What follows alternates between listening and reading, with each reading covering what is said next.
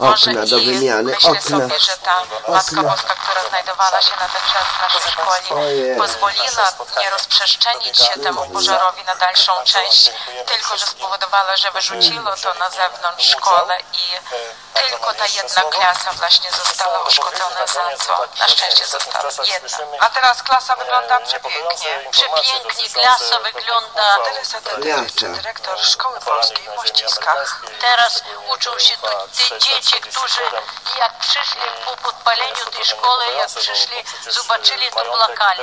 A teraz oni się tu uczą, dostali mebli, odremontowana klasa, bardzo dużo. Jedna z najlepszych klas w naszej szkole. Śledztwo z tego co mi wiadomo na pewno w toku trwa. I żal, że na razie zapisali nie ma Majątek bezspadkowy, który ma być majątkiem Słyszałem, że właśnie największymi takimi potrzebami, jakie szkoła ma, to, są środki chemii gospodarczej. Tak, aby szkoła ma też pewnej czystości, no i dbać o higienę. Będziemy bardzo wdzięczni.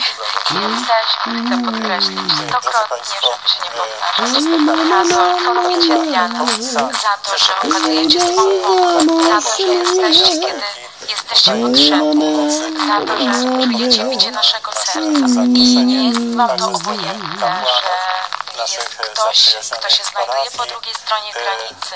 I na pewno być może los tak zrządził, że bo moglibyśmy być kilka kilometrów po drugiej stronie, a nie tak jak inny. Ale tym niemniej, myślę, nam przypadło w dużym udziale rozpowszechnić, szerzyć, stymulować, propagować i uczyć tej miłości do tego, co się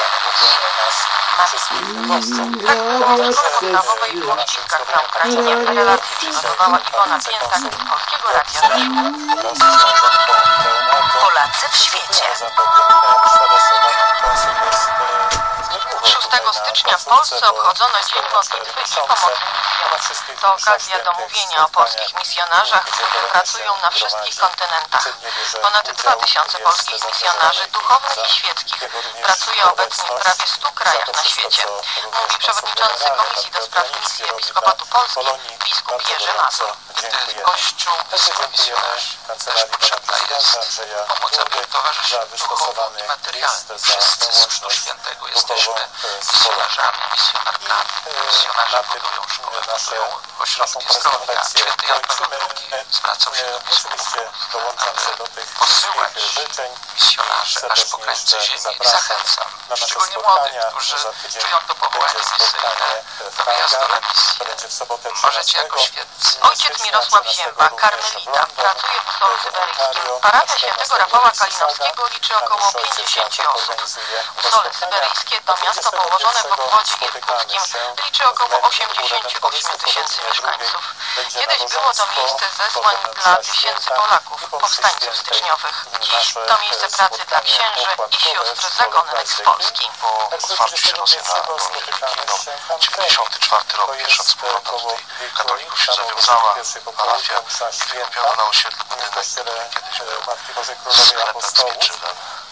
I tam zrobiono taką tymczasową kaplicę, tam się gromadzili katolicy. Przyjeżdżał ksiądz na początku z Janowska w 1999 roku. Jerzy Mazur poprosił naszych karmelitów z Polski o to, żebyśmy wzięli tą parafię, dlatego że do tych osobów został zesłaniu minister wojny na Litwie Józef Kalinowski, za koniec dalej jako święty Mieczysław Kalinowski. Od 99 roku kiedy karmelici przyszli, tutaj była codziennie odprawiana. No ale zawsze chcieliśmy budować z prawdziwego zdarzenia Kościół, żeby to był wygląd sakralny. To nie był jakiś, jakiś budynek z jakimś krzyżem, tylko żeby to było widać, że jest to świątynia. Wiele przymiarek było i uznaliśmy, że chyba najlepiej będzie i najprościej, jeżeli dokonamy przebudowy tego budynku, który był tego sklepu na kościół. Tak się stało. Przygotowania, opcje były różne plany, no ale to co teraz widzimy to jest owoc kilku dobrych lat, kiedy żeśmy przygotowywali budowę. spotkania przeżyli. Ojcze Grzegorzu, bardzo dziękuję za możliwość y, tutaj właśnie pojawienia się na antenie Radia Maryja. My się tym ojcze bardzo cieszymy, pozdrawiamy całą waszą wspólnotę. Pragniemy przekazać pozdrowienia dla wszystkich członków rodziny Radia Maria, dla kapłanów, dla współbraci redemptorystów, dla sióstr Lorytanek.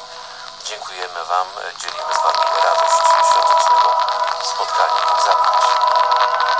Bóg zapłać. Będzie pochwalony Jezus Chrystus, Maria zawsze. Teraz i zawsze tu z nami ojciec Zbigniew Pińko, dyrektor Centrali Radia Maria i oczywiście nasi goście. Jeszcze raz, drodzy Państwo, dziękujemy też za uwagę. Za chwilę wspólna nasza modlitwa orzeńcowa. Zachęcam, zapraszam.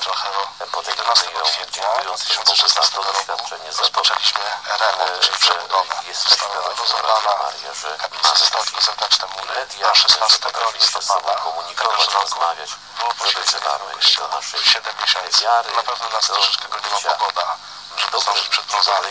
żeby Polakami w kraju i na tych prac budowlanych przed brązami, no to niestety, ale trzeba byłoby wstrzymać na czas zimy, a zima tutaj jest długa.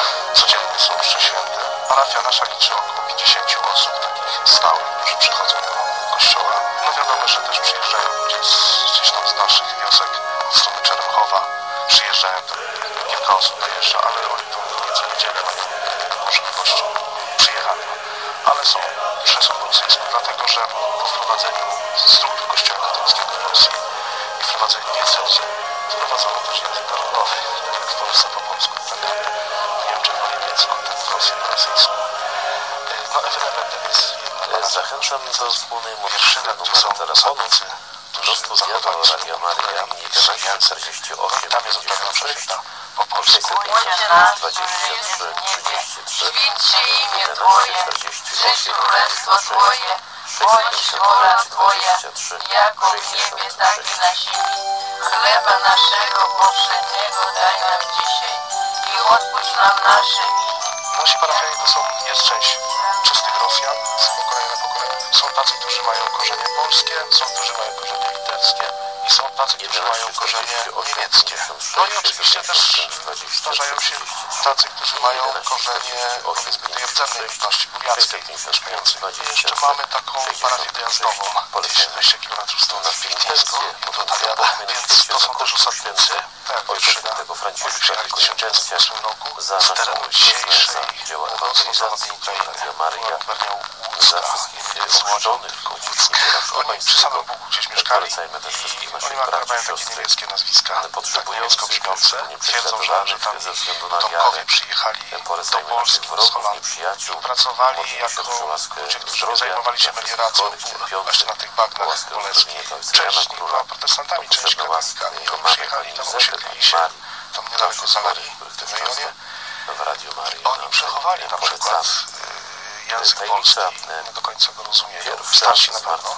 Kiedy księdza nie było, to oni książki Chrystus powstał z martwych. Żyjemy tą tajemnicą wiary kazania po polsku napisane i czytali je na pogrzebach. Aby się Przechowali język polski, ale to, to ta grupa, która jeszcze Kiedy urodziła się przed wojną, już po wojnie, to raczej nie znają języka polskiego. Ale tradycję jakoś taką zachowali. Nawet młodzi ludzie, którzy dzisiaj idą prosić na wesele do sąsiadów, to mają na kartce rosyjskimi literami po polsku zaproszenie napisane.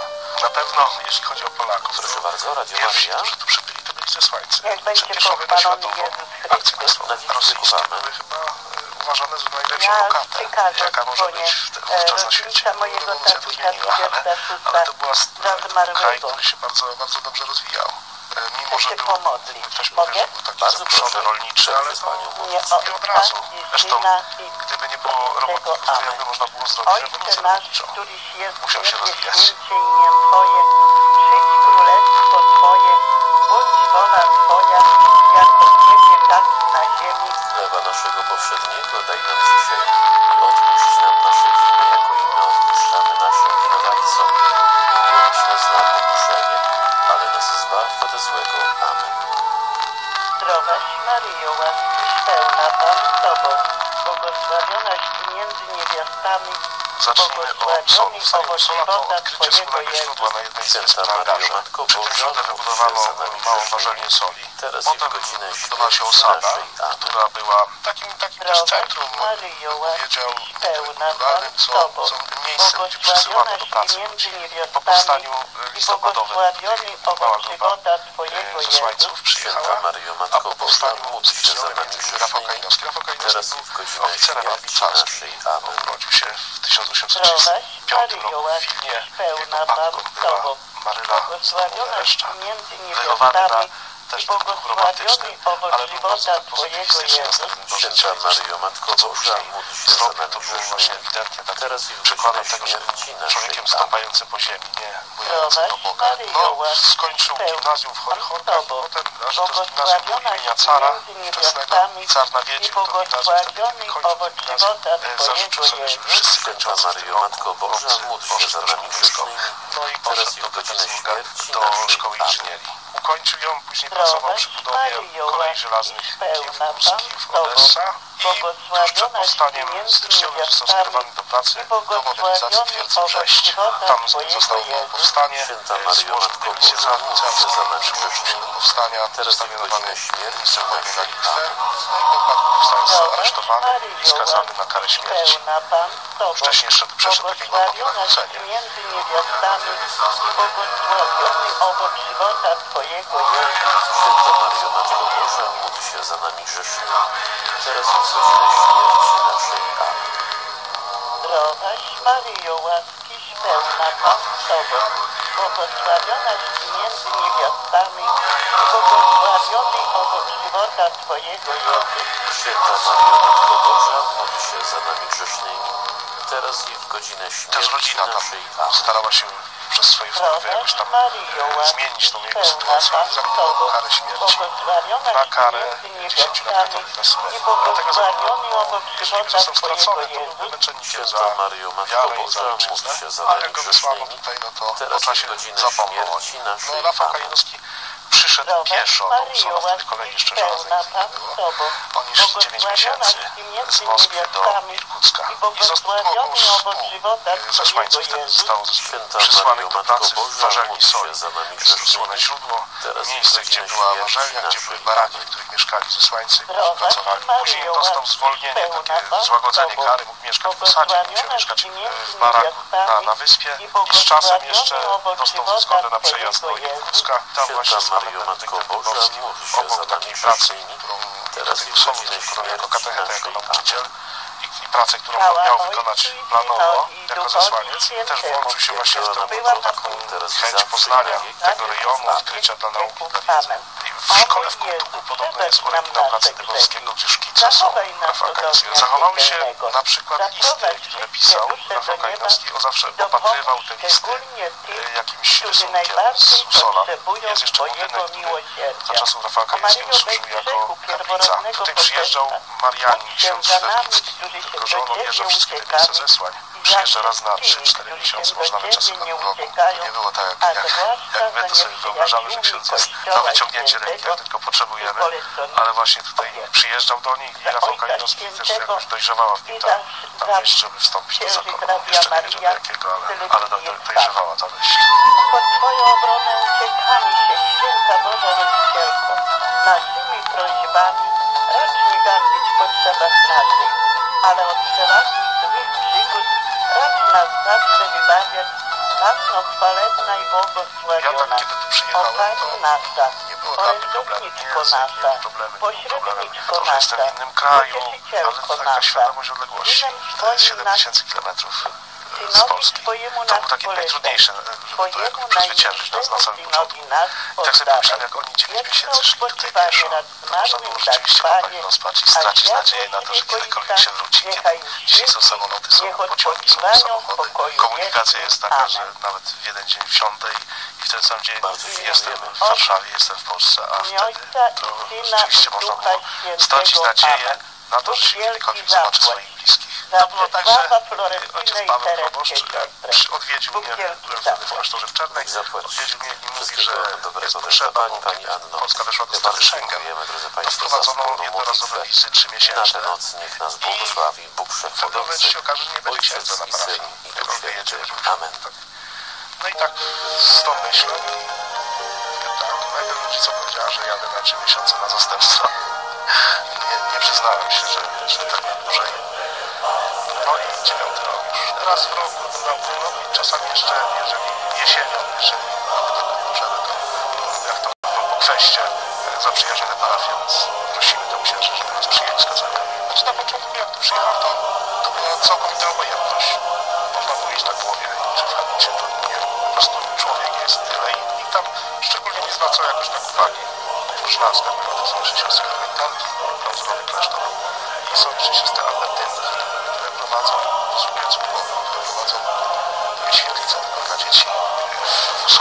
Czasem tam ktoś się pyta, czy to moja babcia była Polką, żeby się pomodlić za nią, pani w sklepie na przykład zapyta.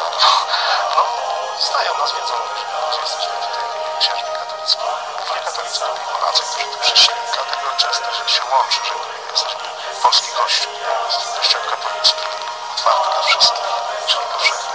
Mówił ojciec Mirosław Zięba, karmelita, który pracuje w Usolu Syberyjskim. To była ostatnia informacja w dzisiejszym wydaniu magazynu polonijnego. Edyta Poźniak, dziękuję i do usłyszenia. Powtórka programu.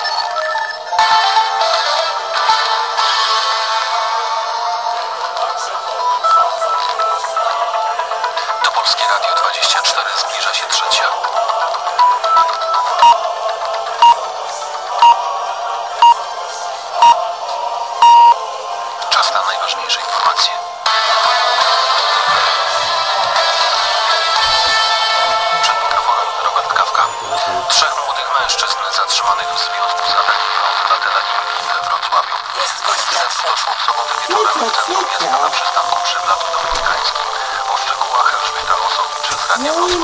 Według relacji śladów w tramwajowym doszło do sprzeczki i przepychanki. Jak relacjonuje Łukasz Dudkowiak z biura prasowego Dolnośląskiego Maryja, katolicki głos w Twoim domu. Niech będzie pochwalony Jezus Chrystus i Maryja zawsze zawiadomił policję. Mundurowi solenizantom i jubilatom składamy najserdeczniejsze życzenia. Opieki Matki 20 Bożej, wielu łask 23 Bożych, życzliwości najbliższych, opieki ponad swoich 2,5 świętych patronów, alkoholu. aby uśmiech zawsze gościł Także proszę. Państwa, historie są pozmieniane, wszystko.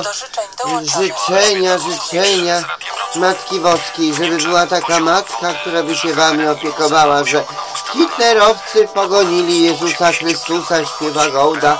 Jakie to piękne, Boże, jakie to miłe, a z palca wyssane. No to przecież oni sami tego Jezusa zabili, a teraz głaszczą siebie, głaszczą, żeby to nie było tak źle, żeby to nie było tak źle.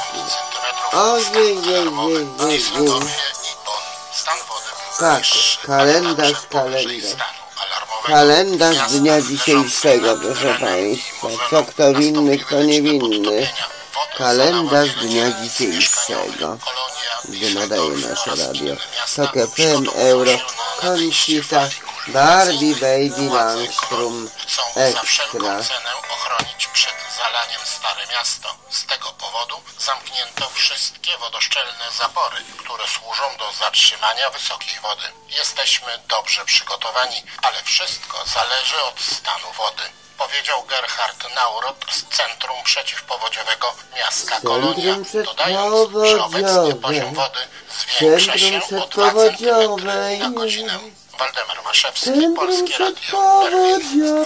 Rosyjska cerkiew włączyła się w kampanię wyborczą. Patriarcha Moskwy i Wszechrusic wezwał Rosjan do powszechnego udziału w wyborach prezydenckich zaplanowanych na mą 18 marca. Duchowny mówił o tym w wywiadzie telewizyjnym wyemitowanym z okazji obchodzonych w Rosji prawosławnych świąt Bożego Narodzenia.